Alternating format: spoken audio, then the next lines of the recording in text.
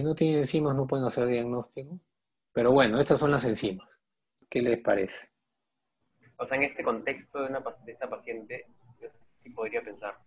Yo, yo pienso en... ¿En, qué? Entonces, infarto, por las enzimas. ¿Ya? Por la troponina elevada. Pero miren también la MB, ¿no? La vista elevada. En este contexto, ¿no? Entonces, si no hubieran, a lo que voy es, si no hubieran tenido troponina y solamente hubieran tenido CPKMB, también tendrían que haberle hecho caso. A ver, seis horas después del ingreso, evolución. Todavía está taquimneica, 28, sigue con edemas, no hay S3, no hay S4, la presión ha subido un poco, 150-80, lo más probable es que todavía no le han puesto furosemida. Plantea más diagnósticos, ¿no? ICC, teología, puede ser hipertensión, enfermedad coronaria, descompensada, complicada, falla renal, diabetes, hipertensión, casi igual que ustedes. ¿no? Comentario. Ellos ya han visto a las 6 horas la troponina, pero también han visto el EKG, que lo vamos a ver más tarde, y plantea que puede ser por congestión pulmonar o azoemia. ¿no? Y como plan va a pedir un nuevo AGA y va a pedir una troponina I, porque no le crea esa troponina T le quita el manejo de infarto y continúa solamente con furosemida y le pone oxígeno, ¿no? Porque estaba más taquipneica. Esto es, miren, del 92, ¿no? Esta es la definición, creo que es la primera, ¿no? O sea, pero en el caso anterior, si hubiese seguido la definición, del, o sea, la cuarta definición, tendríamos las, consideraciones de tener toponinas altas y tener eh, clínica. Entonces, con eso debería haber continuado con el tratamiento para, para infarto.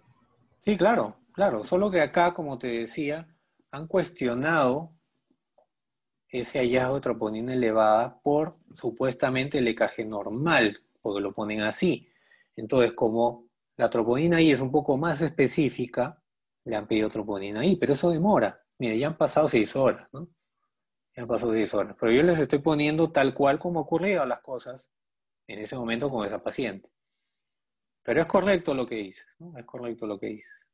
Voy a poner un par de estudios, ¿no? Que clásicamente se, describía, ¿no? Que la troponina T puede estar elevada en pacientes que no tienen infarto, pero que tienen falla renal o falla cardíaca. Pero de acuerdo a estos estudios, miren la magnitud de esa elevación. En primer lugar, son pacientes que tienen diálisis dos años con creatinina muy elevadas, en 11. Y en esos casos se han encontrado elevación de CPKMB, elevación de troponina T, elevación de troponina I en menor proporción, ¿no? Acá fue 71% y acá solamente 1 de 24. Pero la magnitud fue 0.6, ¿no? 0.6, o sea, no es muy elevada. En este caso era 2 puntos y tanto.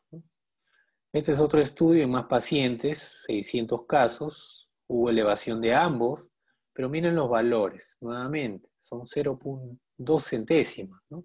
Entonces, y con creatinina en 9 o en 11. En este caso eso no es aplicable. Estos hallazgos no son aplicables a la paciente. Primero porque tiene una elevación de creatinina discreta y segundo porque la troponina es que más de 100 veces, ¿no? Estos valores.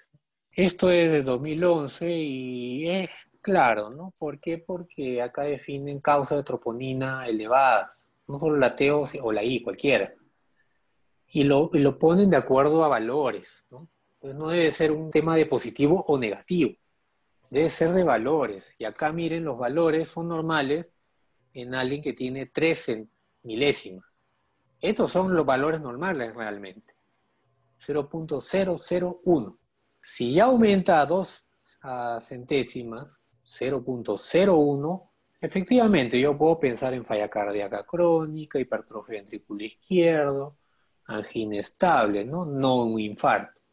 Si yo subo a una décima, los valores, las patologías se reducen, ¿no? Puede ser un infarto pequeño que recién está comenzando, puede ser miocarditis, puede ser embolia pulmonar, shock, falla cardíaca aguda, falla renal, ya lo vimos, tiene esos, esos valores un poco elevados, definitivamente no es normal, pero podría ser. Pero si yo subo a uno, o entre 1 y 10, que sería la paciente dos puntos y tantos, ya me quedan pocas cosas. Ya la falla renal, no, no, no debo pensar en falla renal acá, no debo pensar en falla cardíaca. Debo pensar infartos un poco más grandes, miocarditis también, embolismo pulmonar, shock, y si sube más, 10, 100, ya lo único que queda es infarto. Y esta es la curva de la paciente. Estas son las enzimas que ustedes vieron y este es el control que le pidió cardiología.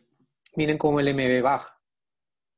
Por eso no es lo, que, no es lo ideal que deben pedir el MB. en este caso se captó en la subida, ¿no?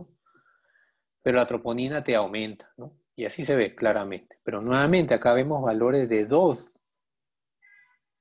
que sería, si ustedes multiplican, bastante elevado. Ustedes pueden ver un valor pequeño, pero comparando con las milésimas, que es el valor normal, eso es marcadamente anormal. Y aún así, ¿no? después de 8 horas, aumentó pues, un 15%. Y en la guía de nefrología del 2008 ya está establecido, ¿no? Si yo sospecho infarto en un paciente con insuficiencia renal crónica terminal, debo ver las troponinas y hacerles caso, ¿no? Inclusive ponen que la troponina es más útil, que la troponina I, por lo que ya vieron, ¿no? Se eleva antes que la troponina I. Entonces es mucho más riesgoso no tratar que tratar. Porque, nuevamente, los pacientes con insuficiencia renal crónica terminal al final fallecen no, no del problema renal. ¿Por qué no fallecen del problema renal? Porque la morbilidad cardiovascular los mata antes que el problema renal. Puede ser, pero antes, yo, cuando yo hice mi residencia, sí fallecían del problema renal. Pero ahora ya no. ¿Por qué ya no? Ah, la dieta, la dieta. Por la, ah, diálisis, diálisis. Por la diálisis, efectivamente.